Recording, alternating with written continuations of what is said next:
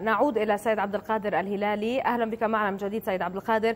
إذا كنت تتحدث عن هذا الإعلان المشترك الذي وافق عليه حفتر والسراج عن أهميته على كل الصعد حتى فيما يتعلق بالأموال التي ما زالت في الخارج ولا يمكن استعادتها كما ذكرت إلا بالتعاون وتوحيد الأطراف في ليبيا.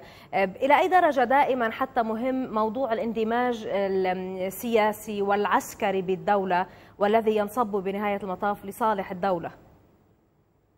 نعم صراحة هناك نقطة مهمة أن كل الدول التي رحبت بهذا الاتفاق هي نفسها أو هي ذاتها الدول التي قامت بقرار قطع العلاقات الدولية مع قطر. وصراحة ليبيا والدول العربية جزء لا يتجزأ من العالم وهم يقومون بمحاربة الارهاب سويا. هناك نقطة أشرت اليه أن هذا اللقاء هو أو هذه المرة هي ليست المرة الأولى التي يلتقى فيها المشير خليفة حفتر والسيد السراج حيث سبق التقيا في مايو الماضي في أبو ظبي والتي وصفته دولة الإمارات العربية المتحدة وقتها بأنه اختراق مهم جدا في الجمود السياسي في ليبيا.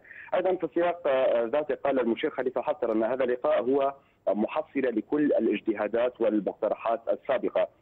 وقال أيضا نأمل كل خير من اللقاء وليست هناك نقاط اختلاف وأشار إلى أن العداء لمن هم في دار العداء مثل تنظيم داعش والقاعدة والحركة الإسلامية المقاتلة وما يسمى بسرايا الدفاع عن بنغازي والمتشددين من الإخوان، أيضا هناك نقطة مهمة عرج عليها المشير الا وهي توحيد المؤسسات كالمؤسسة الوطنية للنفط ومصرف ليبيا المركزي ومؤسسة الاستثمار وبطبيعة الحال توحيد هذه المؤسسات.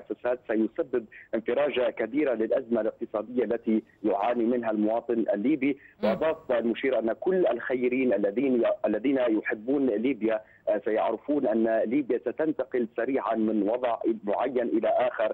طبعا من بين النقاط التي ناقشت خلال اللقاء هو بند اتفاق سخيرات والذي علق المشير عليه بأنه إذا لم يتم إصلاحه فسيبقى في مكانه للأبد ولن يفيد أحد. أيضا تم الاتفاق في هذا اللقاء أيضا على الالتزام رسميا بعمل نحو عقد انتخابات رئاسية وبرلمانية في أقرب وقت. نعم الشارع الليبي يعني لا شك بأنه الموضوع مرحب به.